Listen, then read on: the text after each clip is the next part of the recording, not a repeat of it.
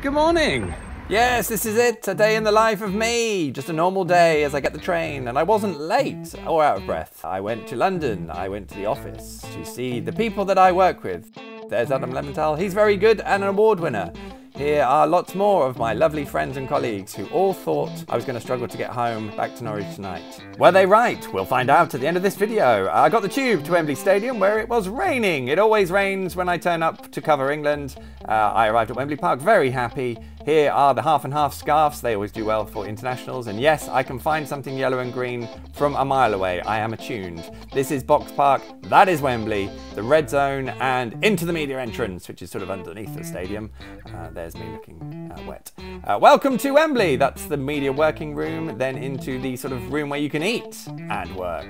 This is a program where I found James Maddison. Good old Madders. Uh, now that's Josh and Caitlin, who are students, and they were lovely. This was the team. That is Jude Bellingham, the man I was very excited about seeing play live. I then went back outside because I didn't quite get enough of the rain earlier. There were lots of people still arriving. This is 15 minutes before kickoff. Get a move on, guys. Look at how wet it is. Rank. Everyone was very happy and excited, including me. Obviously, this is for content purposes. I love my job. Back inside then, a lovely tunnel here. Must not make glib Stuart Webber joke. And we go into the stadium where the lights were doing fun things. Very fun. And the Belgium fans, they were fun too. Here's Jack Pitt-Brooke and here's the anthem.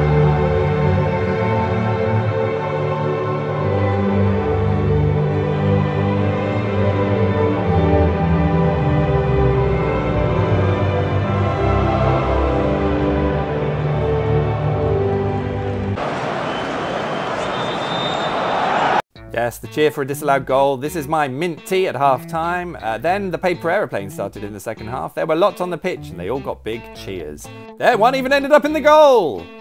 Then the game finished, I watched some replays, looked up and everyone had gone, so I thought I'd better move. So I did move. I moved all the way down this path and then all the way down to the mix zone where back in 2015 I gave myself a celebratory fist pump.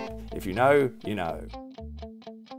This is the mix zone. It's a universal position of sitting on the floor with your laptop now, um, and I missed the Belgian head coach giving his press conference. I then tried to grab Gareth, but I was of course worried about getting my train home. It was still raining, and I left. So I walked very quickly. I appreciate I haven't covered much of the actual job I did inside the stadium, but that doesn't matter. Go! Yes, I'm going. It was um, more than an hour after for the full-time whistle, and it was still so busy, but I got back to Liverpool Street in time to make my train. Yes, colleagues, I did it. Uh, that is me checking that the train was going to Norwich. That's me again checking that I'm on the right one. That's me asleep. Or am I? I then got a scooter, I then got home, and I did a salute. And that was my day in the life.